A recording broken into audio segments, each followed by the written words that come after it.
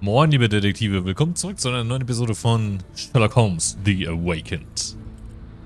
So, es geht weiter mit mir und Holmes und unserem guten Dr. Watson. Ich habe von diesem Mann da hinten eine Info bekommen über Barnaby. Er hat nämlich gesagt, er hat in Chinatown einen Laden namens Barnaby's Hidden Gems. Und in Chinatown waren wir schon mal. Dann gehen wir jetzt dahin zurück und suchen nach diesem Laden.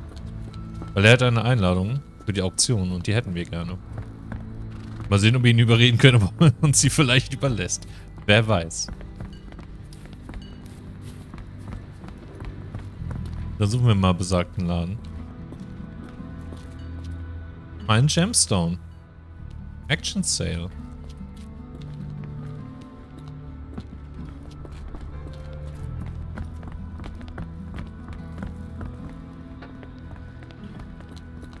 Wo könnte dieser ominöse Laden nur sein? Ich glaube, hier in der Gasse auf jeden Fall nicht. May I ask you something? No, first I've heard of it.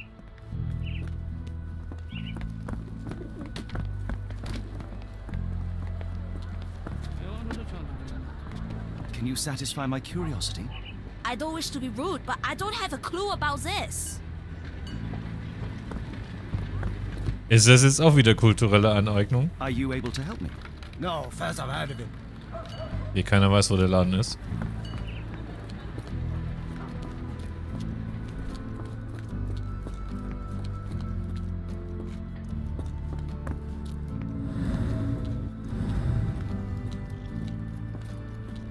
Hotel. Da garantiert nicht. Saloon.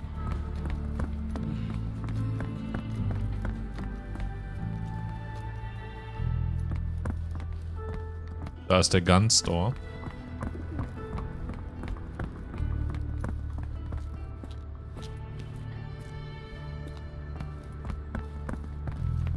Mal sehen, vielleicht haben wir hier Glück. Ach, guck an. Barnaby's Hidden Gems. Locked. No one's here.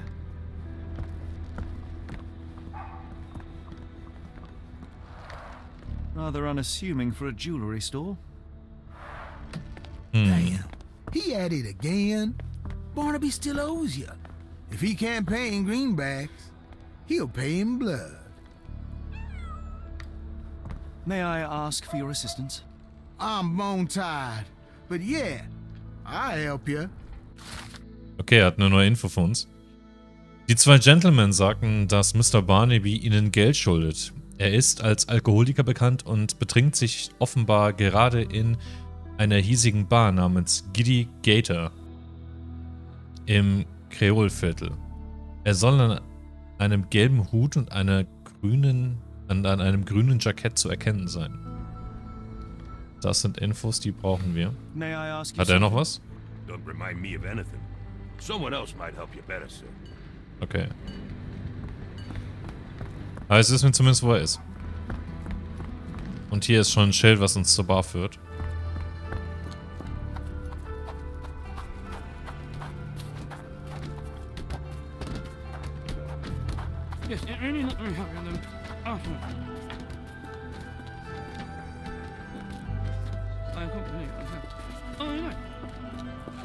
Ach, guck mal, ein gelber Hut. Da liegt das grüne Jackett. Barnaby, unconscious but with his eyes open. Look, Watson, the two of you are just alike. Oh, great. So I look like a haggard alcoholic.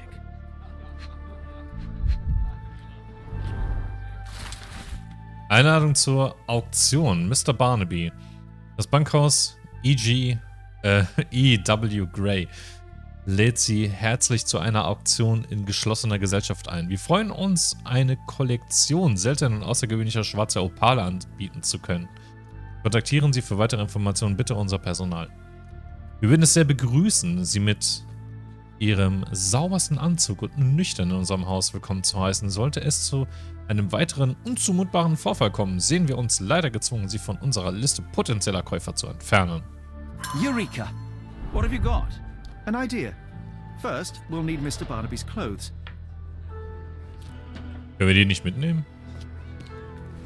Holmes. Watson, time is of the essence. You will go to the bank, not as yourself, but as Frank Barnaby. Holmes, we look nothing alike. The hat and coat will do the heavy lifting. Just stay cool, play the part, and no one will notice the difference. Trust me. Holmes, must we really indulge in this farce? It worked in Switzerland, didn't it? Sure, if you redefine the word worked. Okay, jetzt geht es weiter mit unserem lieben Dr. Watson. Gut, wir haben jetzt eine Einladung. Wir haben Barnabys Kleidung. Vielleicht können wir jetzt in die Bank. cash, Frank? In the bartender's tip jar? Na, nie. Okay, wir gehen zur Bank und gucken mal, ob der Typ uns jetzt reinlässt. Weil Holmes hat er abgewiesen. Aber vielleicht haben wir Glück und Watson hat eine höhere Chance.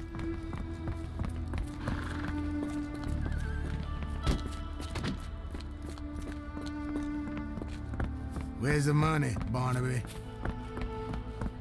Er schuldet also vielen Leuten Geld. Naja, I'll wait here so as not to arouse suspicion. Mr. Barnaby. Er, right you are. Shop owner. Right. Your invitation, sir? Here you go. You okay, sir? Seem to have the jumps. I, uh, I'm, uh, I, I'm in a rush. Oh, come on in. er hat's geschluckt. Wir sind in der Bank. Vorrang. Heavens, I never seen gems so big. I simply must have them. Do you know anything about this? It isn't possible for me to help you. I'm sorry. Achso, wir haben den Hinweis noch angeheftet. Moment. Äh, nee. Mhm. Er sieht Watson verblüffend ähnlich, aber man hat ihn noch gar nicht gesehen. Er lag mit dem Kopf auf dem Tisch. Wir wussten ja nicht mal, wie er aussieht. Mr. Barnabys Kleidung sieht Watson ihm noch ähnlicher. Naja. Äh, Das war jetzt in der Station, der Begrüßung. Okay, das ist der Unführer nach New Orleans ist auf Plakat gestoßen. Die Bank ist in auf Besuch geschlossen. Wachmann lässt ihn. Okay.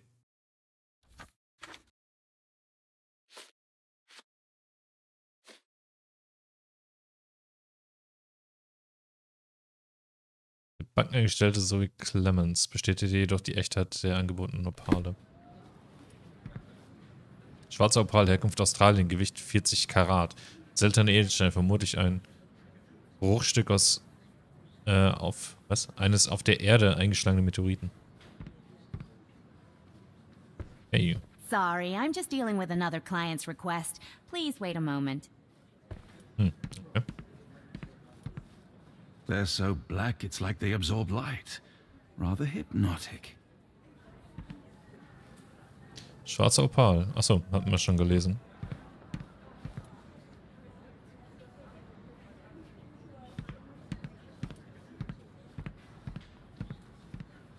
No pass.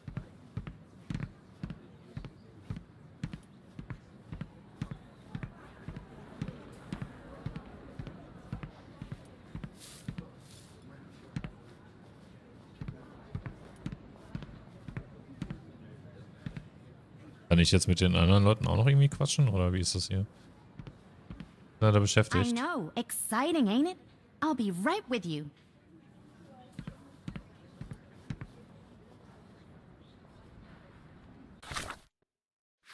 Können wir Sie denn irgendwas fragen? Bankhaus. Die schwarzen Opal befinden sich in der Bank. Ja. Aber wir brauchen einen. Wir würden gerne einen kaufen. Feel free to look around while I finish up. Can you satisfy my curiosity? I'm so sorry. I can't be of help. Hm. May I ask you something? It isn't possible for me to help you. I'm sorry. Can I ask you a question? I'm sorry, but I've never heard of that. Never heard of that. Can you satisfy my curiosity? I have no idea what you're talking about. Ja, was jetzt? Stelle ich denn die richtige Frage? Ist das die Frage? Ähm, lass mich nochmal gucken. Was haben wir denn noch für Infos? Ähm, Frank Barnaby. Aber das hilft uns jetzt gerade nicht mehr weiter. Können wir denn neue Hinweise finden? Beziehungsweise hier. Mr. Frank Barnaby. Moment und Aussagen. Haben wir keine. Uns fehlt nämlich noch irgendwie eine Aussage. Deswegen können wir diesen Strang nicht vervollständigen. Hafenabend Chinatown. Heolviertel Fischerdorf. Hm. Hm. Hm. Ist der Rollo so ein bisschen kaputt, aber wir können doch nicht zu Home switchen. Können wir wieder gehen? Theoretisch ist das möglich.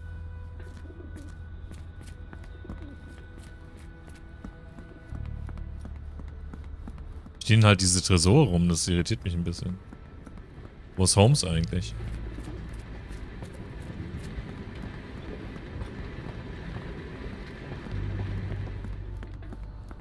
Glaube, Holmes ist gerade nicht available.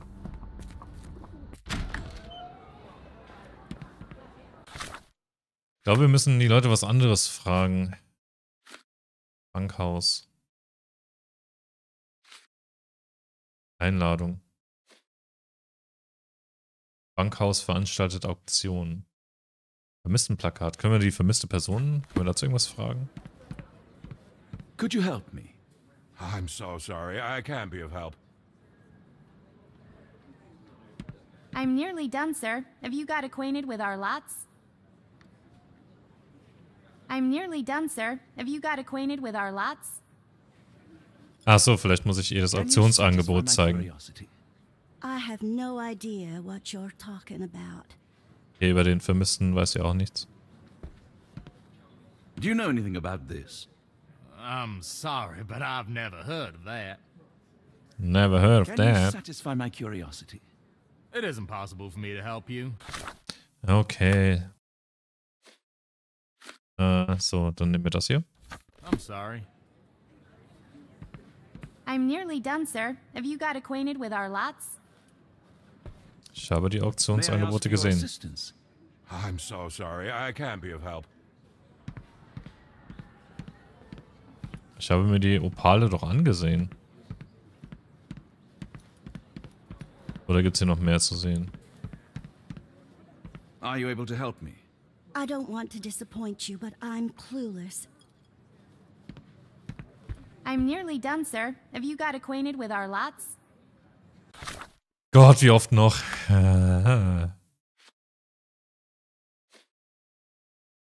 Charakterprofil. Einladung vielleicht. I'm nearly done, sir. Have you got acquainted with our lots? Help me, please. I'm so sorry. I can't be of help. Ich weiß nicht, was ich machen muss. No pass. Das sehe ich anders. Nee, ich glaube... Oh, warte mal. This might be useful. I'll make a note. Aha. Das Bankhaus E.W. Gray dankt folgenden Wohltätern der Stadt, die sich um unser Geldinstitut verdient gemacht haben. Armitage, Anderson, Antixon, Carter, Chambers, Clemens, Engel, Hartnett und Howlett. Ein paar Namen davon sind äh, ebenfalls Autoren ähm, von äh, ja, Geschichten, die auch so ein bisschen in die Welt von Lovecraft reinpassen. Zum Beispiel äh, Armitage ist eine bekannte, ein bekannter Name aus äh, den Geschichten von Lovecraft. Ähm, Carter ebenfalls. Chambers ist der Autor von Der König in Gelb. Äh, Hartnett und Howlett Howlett, glaube ich, kommt auch in der Geschichte von Lovecraft vor, aber ich bin mir nicht mehr sicher. Zwei Hinweise aktualisiert. Hilft mir das jetzt weiter?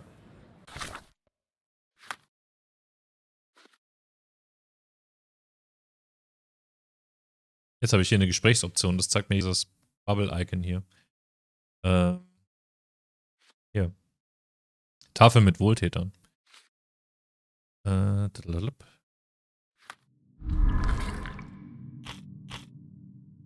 Moment und Aussagen haben wir leider nichts. Ich brauche erstmal eine Aussage, bevor ich irgendwie was erreichen kann. Kann ich das hier anheften?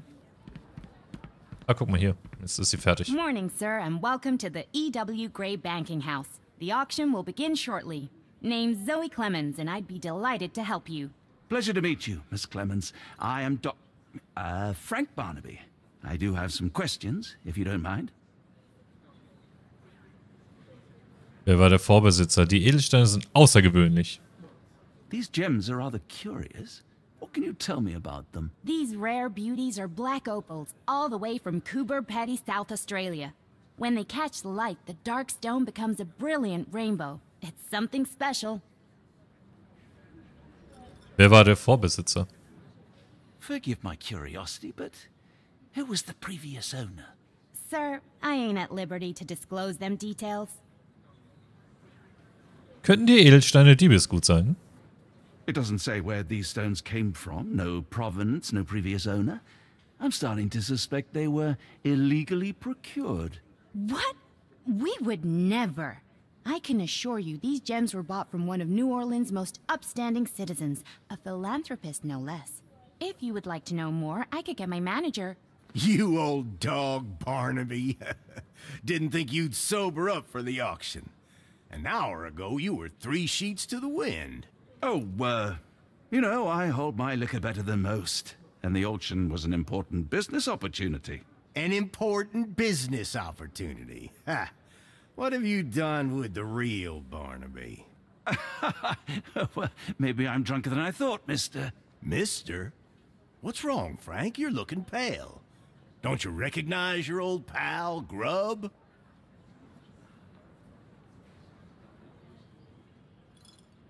Der hiesige Sheriff. Ah ja. Ich glaube, Watson kommt gerade so ein bisschen ins Schwitzen. Großer Filzhut. Überdimensioniert. Sheriff Cropped. Machtsposition. Schützenkönig-Auszeichnung ist stolz und will prahlen. Edler Stoff achtet auf sein Äußeres. Irgendwas an den Schuhen oder so? Ah, hier. Polierte Fingernägel. Eitel und oder rechtschaffendes Image. Auf Sheriff Grubb trifft der Satz, Hunde, die bellen, beißen nicht zu. Er will den Eindruck erwecken, dass er in New Orleans etwas zu sagen hat, ist aber letztendlich nur ein Rädchen in einem großen Getriebe der Polizeibehörde. Tatsächlich fühlt er sich in seiner Rolle so unwohl und minderwertig, dass er versucht, seine Unzufriedenheit mit albernen Wettkämpfen, einem modischen Erscheinungsbild und Drohgebärden zu kompensieren. Bellender Hund, gepflegtes Äußeres, aber gefährlich. Bellender Hund, der nicht beißt, würde ich sagen.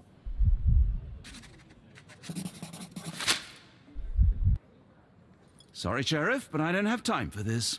Now, Frank, when I'm talking to you, everything else waits. If I want to talk, you talk. If I say jump, you say off which pier. Do we understand each other? Y yes, sir. Good. Now, while I have you, there's the matter of your outstanding fines. I've been more than reasonable, but I'm afraid the bills come due. Fines? Right. Uh, I I'm afraid I don't have anything on me. That's funny. Ain't you at the auction? I weren't born yesterday, Frank. Now, assault, battery, disorderly conduct, that's serious stuff. You got off easy, but if you don't pay up, things get a whole lot worse. Look, Sheriff, I'm not actually... Whoa, whoa, whoa. Think careful now, because Frank Barnaby only owes us cash. But fraud, impersonation, that's weasel behavior. And you know what we do to weasels round these parts. Feed 'em to the gators. So, Frank, what's it gonna be? Here's all I have. Mighty fine of you. The people of this parish deserve peace. They don't take kindly to visitors. Don't miss that boat tomorrow morning, Doctor. Er hat ihn durchschaut. Oh boy. We are fucked. Okay, was jetzt? Help me, please. I don't want to disappoint Help you, me, but please. I'm clueless. Was ist hier los? Mr. Barnaby, were you wanting to submit a bid?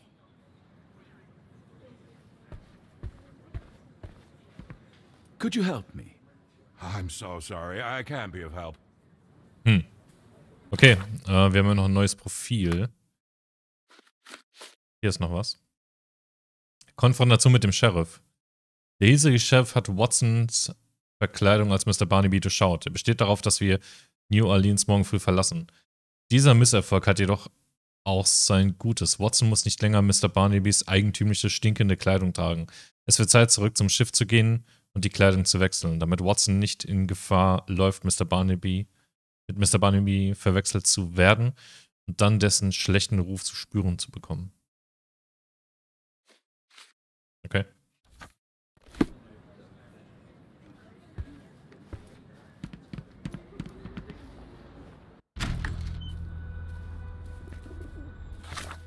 Ähm, Sekunde mal. Haben wir jetzt noch irgendwelche Infos, die wir nutzen können? Konfrontation mit dem Sheriff? Na, das passt nicht. Zu drum. Stehen leider hier in Orleans noch etwas am Anfang. told you it was a bad plan. Now we're penniless and wanted criminals. Hysteria gets us nowhere, Watson. Tell me what happened. The sheriff saw right through me. He knew who I was from the start. Extorted me for every coin I had. Bah, all that matters is what you learned about the gems. I shan't discuss it while still wearing that blighter's clothes. I'm going back to the boat to get changed. You know, I think the look actually compliments you. Why bother changing it? Warum müssen wir dafür zum Boot zurück? Können wir die Kleidung nicht so wechseln? Achso, weil wir nicht... Warte, hä? Warte mal. B? Watson? Achso, wir können das Outfit nicht wechseln, weil wir nicht Sherlock Holmes sind. Wir spielen ja nur gelegentlich als Watson und anscheinend können wir die Sachen von Watson nicht so ändern.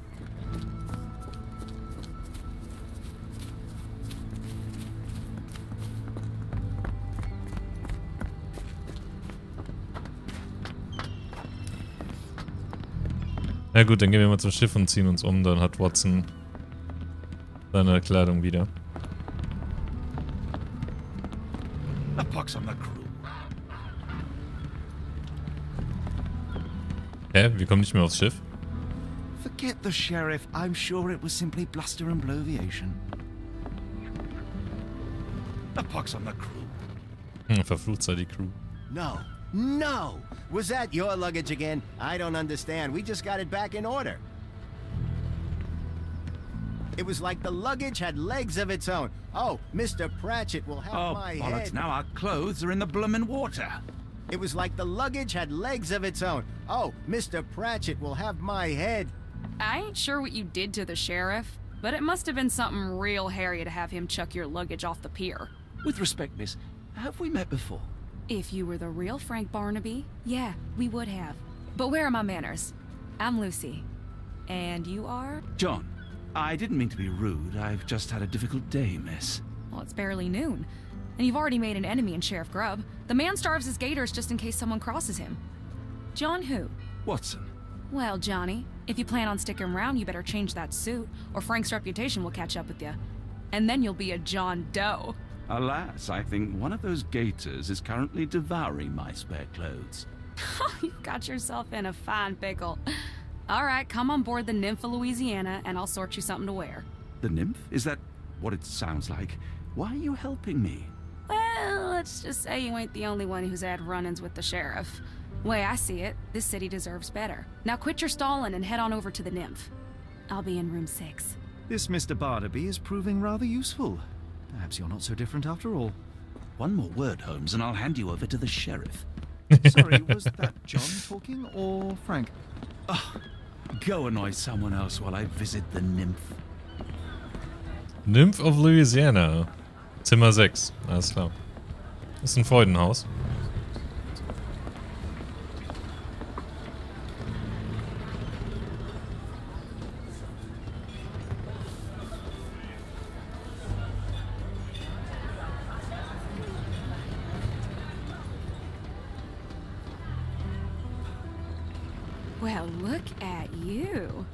Dressed up with nowhere to go.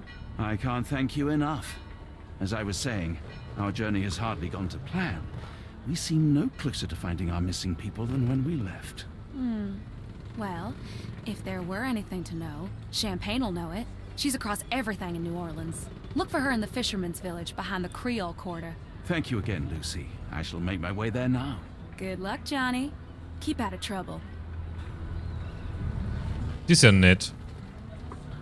Okay, ähm, da könnten wir doch rein schnell hinreisen, weil da waren wir ja schon, ne? Luciger Botzen den Rat an äh, eine Einheimische, die sich Champagne nennt, aufzusuchen. Sie würde über alles und jeden in der Gegend Bescheid wissen und sich sicher und uns sicher helfen können. Sie soll im Fischerdorf hinter dem Kreolenviertel leben. Ja, alles klar. Äh, Karte? Ah, hier. Fischerdorf. Kannst nicht anwählen, warum? Könnte man denn nicht schnell reisen? Chinatown.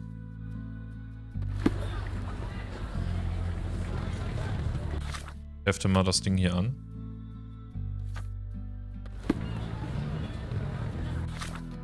Kann ich jetzt schnell reisen? Nein. Ah, forgive me, Watson. The difference is plain as day. What a remarkable transformation from Barnaby. If we're critiquing wardrobes, Holmes, maybe you can explain why you used to roll just one sleeve up. Did you get bored halfway through?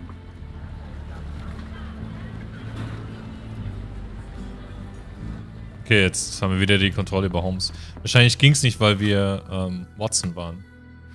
Ja, jetzt geht's. Fischerdorf.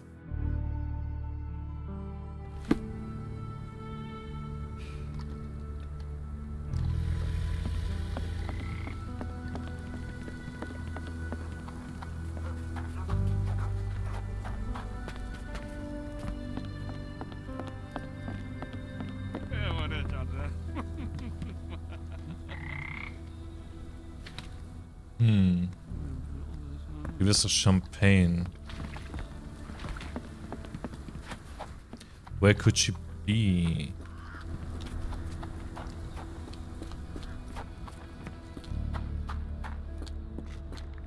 Kamera hier rauszoomt. Do you know anything about this? I've heard about that. Let me tell you.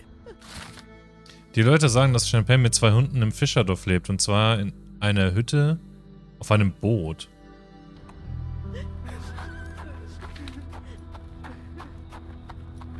Ey. So nach einem... Alter. Müssen wir nach einem Boot Ausschau halten. Ähm, gut. Ah, hier ist ein Boot. Dann wird sie wohl da oben wohnen. Da sind Hunde. Da ist sie. Tocqueville? Lafayette! Hush now. No offense here. Them two don't take kindly to gents. Especially foreigners. How can champagne help you? Trip to the bayou?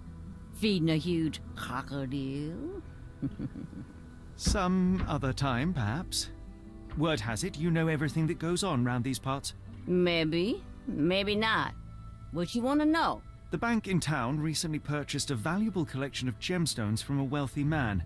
What do you know of it? Sure. I hear everything. This time I tell you for free. Next time, you pay. Thank you. May have been one, two weeks ago. Rich man's butler sold him some black opals.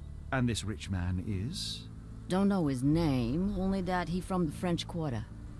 Folk back in town could take you there. That's all I know. You need a boat? I hire 'em out for dollars. Or a bottle of you know what. Thank you for the offer and the help.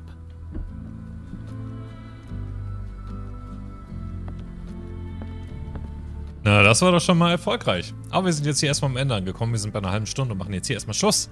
Und ich sag schon mal, vielen Dank fürs Zusehen bei dieser Episode von Sherlock Holmes, The Awakened. Das nächste Mal geht es hier weiter in Louisiana. Äh, Louisiana. New Orleans, Entschuldigung.